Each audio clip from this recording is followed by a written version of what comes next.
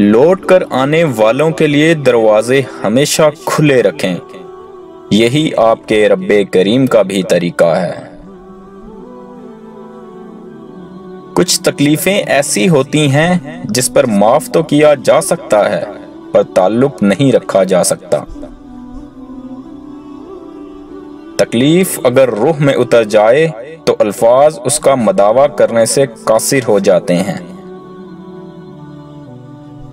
अगर दरवाज़ा पत्थर का हो तो दस्तक रियाजत है। लेकिन दरवाजे के पीछे पत्थर हो तो दस्तक हमाकत है।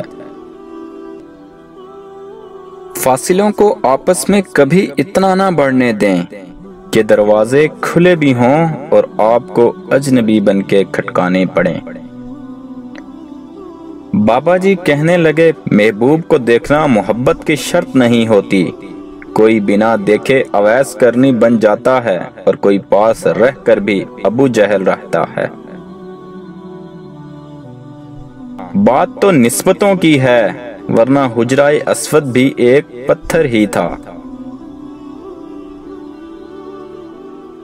अगर गुनाहों में बदबू होती तो कोई एक दूसरे के करीब ना बैठता। मर्द निगाहें नीची नहीं रखता, औरत हिजाब नहीं लेना चाहती, और दोनों को तलाश इज़्ज़त की है। जिस जिसने जिस जिस के साथ बुरा किया, वो शख्स आपको रोशनी के वादे करके तारीकी की तरफ़ ले गया, वो कभी माफ़ नहीं। उसने कहा, वो सुबह तोबा करेगा वो सोया, मगर उसकी सुबह ना हुई। जिस दरवाजे से शक अंदर आता है, मोहब्बत और एतमाद उस दरवाजे से बाहर निकल जाते हैं। जब उम्मीदें टूटती हैं तो बहुत तकलीफ़ होती है। लेकिन यह भी सच है कि हर टूटी हुई उम्मीद हमें हमारे रब से जोड़ती है। जब किसी चीज़ से खतरा महसूस करो तो उससे भागो मत। उसका सामना करो, क्योंकि खतरा खौफ से बेहतर है। किसी को इज़्ज़त देने का आसान तरीका यह भी है कि उसकी बात पूरी तवज्जो से सुने।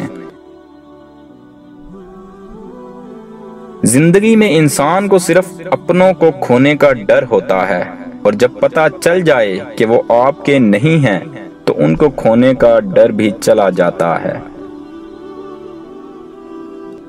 झूठ इसलिए बिक जाता है क्योंकि सच खरीदने की औकात किसी की नहीं होती। किसी ने बुज़ुर्ग से पूछा, इंसान के कितने ऐब होते हैं? जवाब दिया, बेशुमार हैं। लेकिन एक खूबी सब पर पर्दा डाल देती है। पूछा, कौन सी? जवाब मिला, ज़ुबान पर काबू।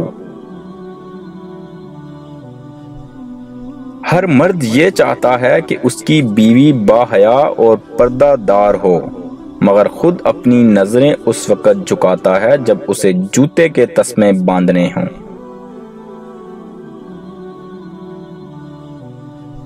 दुनिया तमाशाई फरेब है और लोग फरेब के जाल में फंसे हुए तमाशाई। औरत को कभी कम न समझो। मर्द की ऊँची आवाज़ उसे डरा धमका कर चुप करवा सकती है, मगर औरत की खामोशी मर्द की बुनियादें हिला देती है।